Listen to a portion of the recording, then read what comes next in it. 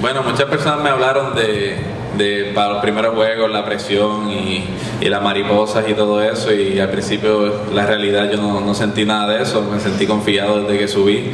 Eh, desde el primer día me sentí como que era simplemente lo que había hecho toda mi vida, jugar béisbol, eh, disfrutarme el juego y eso fue lo que hice durante todo este tiempo. Fui y salí al terreno de juego a disfrutar el juego y a tratar de ayudar a mi equipo a ganar el partido.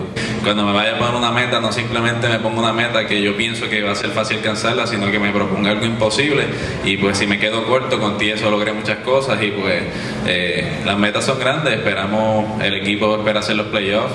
Este, obviamente tuvimos una, un road trip malo esta última semana, pero ya vamos al descanso, nos vamos a recuperar y vamos a volver. Eh, tenemos un equipo excelente, un equipo que cuenta con todo, picheo, bateo, velocidad, eh, poder. Y pues la expectativa es poder hacer los playoffs y poder ayudar a mi equipo y obviamente poner unos números eh, impresionantes y pues, tratar de ser uno de los novatos del año.